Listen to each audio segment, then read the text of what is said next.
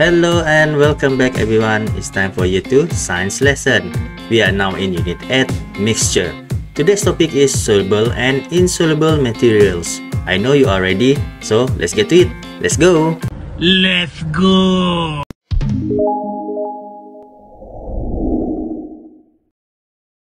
In our previous lesson, we have learned few methods to separate a mixture. Let us do some revision.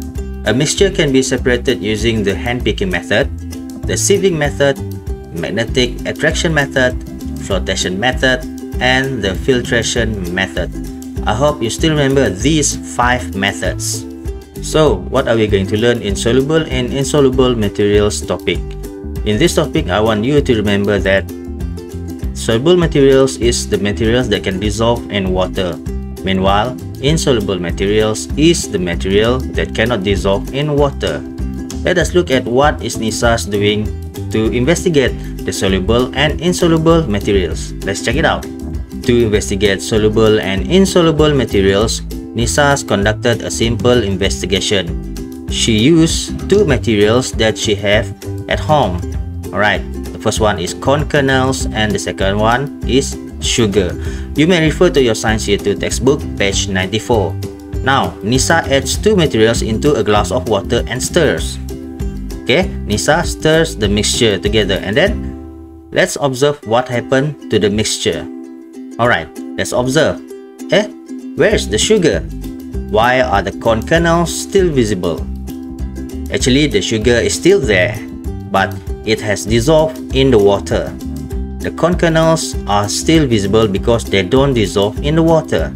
So from this observation, we know that sugar dissolve in the water. Meanwhile, corn kernels don't dissolve in the water.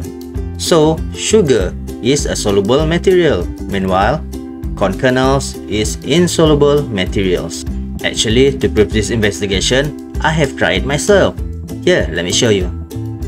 Here we have a glass of water, sugar, corn kernels.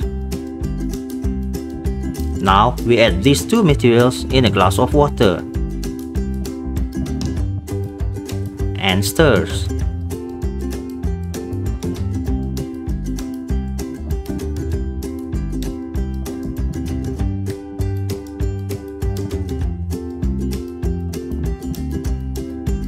The sugar has dissolved in the water. The corn kernels are still visible because they don't dissolve in the water. That is what really happened to the sugar and the corn kernel. From this simple investigation, we found out that some materials can dissolve in water, such as sugar. Meanwhile, some materials cannot dissolve in water, such as corn kernels.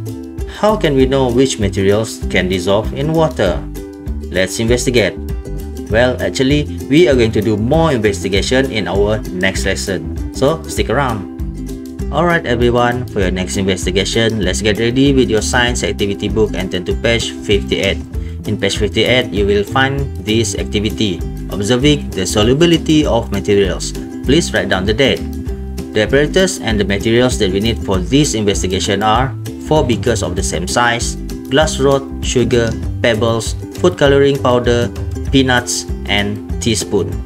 Alright, for this investigation, I am going to show you in this video. Meanwhile, you need to observe the investigation carefully and record your observation in this table and answer these two questions. So, are you ready? Let's check it out. To do this investigation, here I have four same size drinking glasses to replace the beakers, food coloring powder, pebbles, sugar, peanuts, and teaspoon. To stir this mixture, I will use teaspoon instead of glass rod.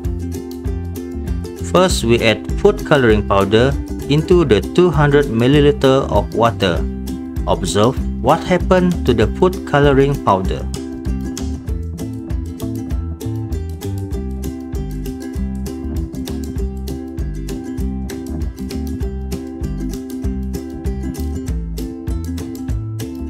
Next, we add pebbles into the 200 ml of water.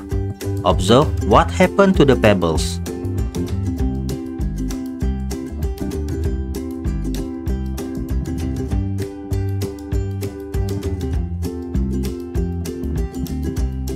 Now, we add sugar into the 200 ml of water.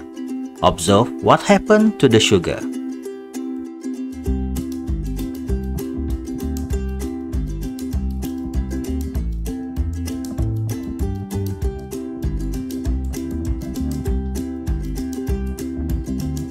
Finally, we add peanuts into the 200 ml of water.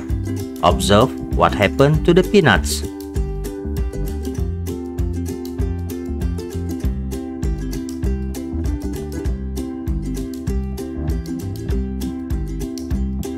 I hope you have done your observation. So, did you get the answer? If you do, please write down your answer here in the space provided in this table and answer these two questions.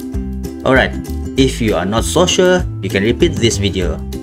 Alright boys and girls, that's about it for today's lesson. I hope you enjoyed throughout the whole activity.